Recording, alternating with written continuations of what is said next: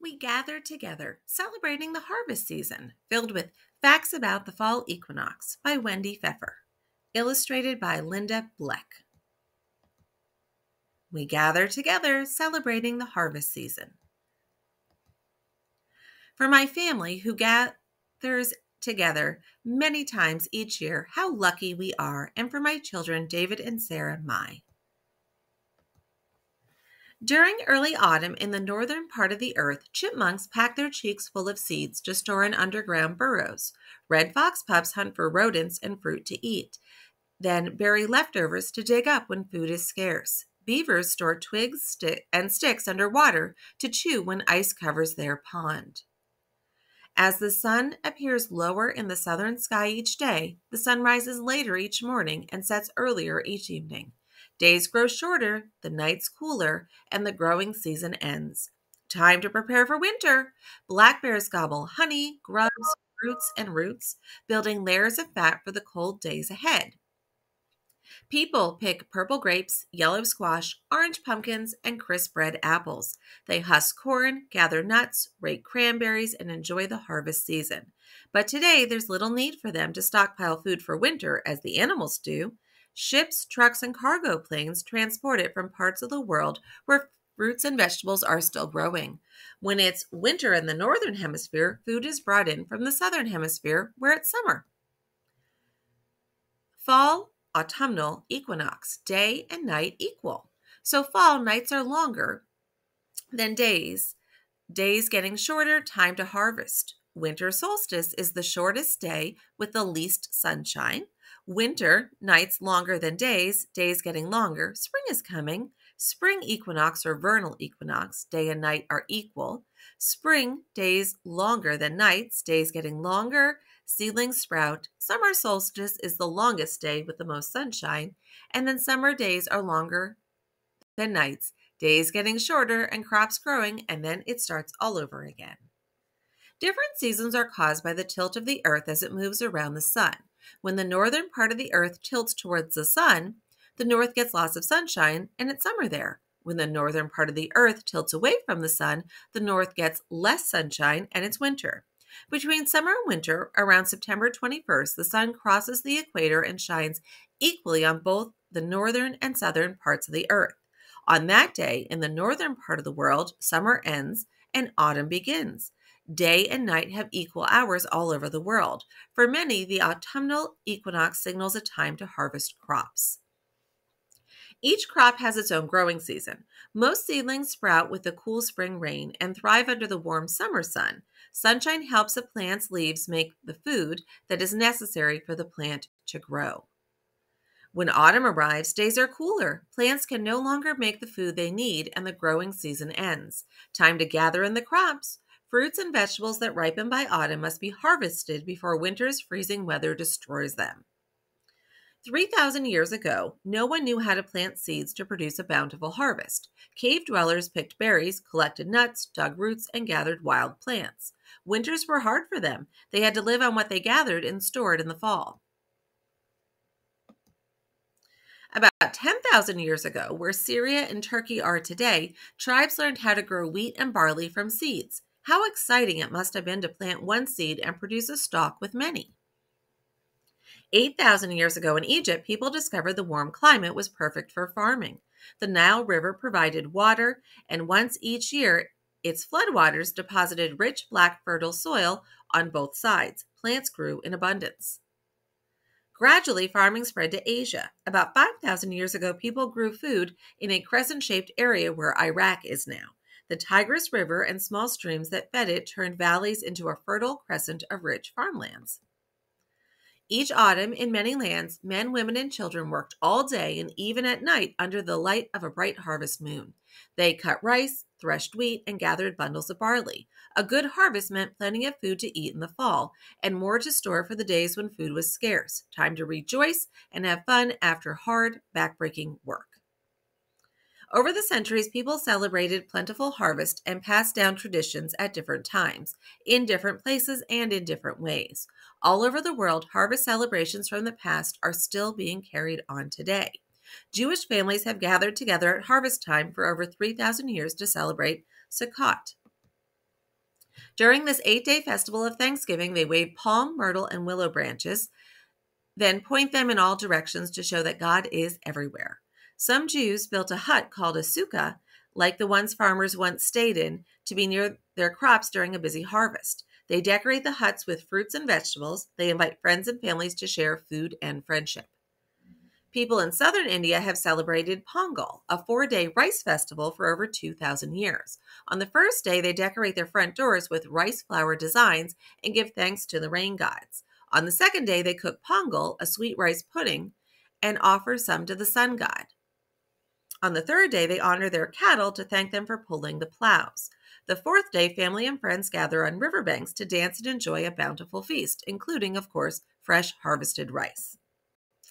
The people of Japan have held rice festivals for about 2,000 years. In spring, girls dressed in kimonos plant rice, while musicians play bells, drums, and flutes. In summer, they hold a lantern festival to express their joy as the rice ripens. When fall comes, they celebrate the rice harvest with parades and dragon dance. During their moon viewing ceremony, people sing while watching shadows on the full moon. Many think the shadows show a rabbit making rice cakes. For over 700 years, Nigerians have held a fall festival to give thanks for yams, the first crop harvested. On the night before the festivities begin, the old wrinkled yams are thrown out. The next day, new yams are offered to the gods and ancestors in appreciation of, of a successful harvest. Dancers wear raffia skirts and masks that portray turtles, lizards, trees, and the sun or moon to celebrate a cycle of nature.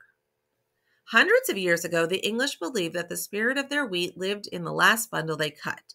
In each field, they twisted it into the shape of a doll. Since they called wheat corn, these dolls were named corn dollies. They were hung in barns or churches during the winter, then plowed back into the earth in the spring to ensure a good harvest in autumn. People still make corn dollies just for fun. Pilgrims from England arrived in America in the fall of 1620, too late to plant crops. That winter, many died from hunger and sickness. When spring came, the surviving pilgrims sowed wheat seeds. A Native American tri- tribe, the Wampanoags, showed them how to plant maize or corn. The following autumn, the harvest was fruitful. The pilgrims planned a celebration to share this blessing. Wampanoag men hunted and killed five deer to bring to the feast.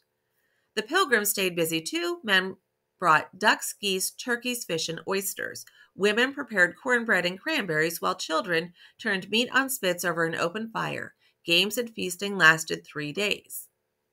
Bountiful harvests have been celebrated since earliest times. People all over the world still celebrate a fruitful year of farming with fun feasts and festivals. They enjoy corn, rice, yams, apples, pumpkins, cranberries, and other fruits and vegetables of the harvest season. Autumn, with its brilliant colors and delicious gifts of nature, offers friends and families a time to gather together and give thanks for all their blessings. Equinox facts. An equinox occurs when the center of the sun appears directly over the equator and shines equally on both the northern and southern parts of the earth. Day and night are equal all over the world. Equinox means equal night. On that day, everywhere on earth, there are 12 hours of light and 12 hours of dark. There are four seasons in each year. A, a day called the vernal equinox welcomes the first day of spring. The summer solstice, the longest day of the year, tells us summer has arrived. The autumnal equinox greets autumn, and winter begins on the winter solstice, the shortest day. We enjoy four seasons because the earth tilts. Around May 21st, the spring equinox, the sun appears to cross the equator as it moves from south to north. Day and night are equal all over the world. It's the first day of spring, time to plant our seeds. Around June 21st, the summer solstice, the northern part of the world receives the direct rays of the sun. We have the longest day of the year, the first day of summer, when our plants grow. Around September 21st, the autumnal equinox, the sun appears to cross the equator again as it moves from north to south. Day and night are equal all over the world. It's the first day of autumn, time to start harvesting. The full moon nearest to the first day of autumn or the autumnal equinox is called the harvest moon. Its bright light allowed people to harvest crops late in the night. After the autumnal equinox, the northern part of the world receives only the indirect rays of the sun. The days get shorter and the nights longer until the winter solstice around December 21st, then the cycle begins again. Uh, prove the sun rises due east on both equinoxes. So here's a little experiment that you could do. Um, the best time to do it would have been between September 15th and 20th. So it's too late this year, but you could do it next year if you want to take a screenshot and try that. Um, and here's something you can do around the 21st of September, October, November, December, January, February, and March. So we already passed October 21st if you're listening to this on the day I'm publishing it, but you could try it on November 21st. So check your calendar in September and March go out on the exact equinox days. At the same time of day that you made your original sketch, go to your chosen spot with a pencil, compass, and one copy of the sketch, and check your compass and face east. Sketch the position of the sun. So in September, you should be facing the sun. In December, the sun should be slightly to your right. In March, you should be facing the sun. Um, write the date and time on each sketch, and after March, put your sketches in order from September to March. Um, do your sketches show the sun rising in due east in both September and March? On both the autumnal equinox and the vernal equinox, the sun rises due east and sets due west. You can, could also do this experiment in the evening by facing west instead of east, following the directions above, but change east to west and reverse north and south. Um, here is another one you could screenshot to see how the tilt of the earth makes the seasons. Um, here's how you could make equinox corn muffins to share. There's a recipe um, how to make Nigerian harvest masks and celebrate. Again, you could take a screenshot if this is something you want to do. Um, and you could write about other harvest festivals. So here are some other harvest festivals you could research or write about if you wanted to find out more. China's Moon Festival, Inca's Corn Harvest Celebration, Ancient Egyptian Harvest Parade, Ancient Greek Harvest Festival, Hopi Corn Dance, Iroquois Green Corn Dance, Germany's Oktoberfest, the Cherokee Harvest Festival, Czech Republic Harvest Celebration, Barbados Sugarcane Festival, Japan's Labor Thanksgiving Day. Um, you could find other harvest celebrations held throughout the world and write about them or read other books about them.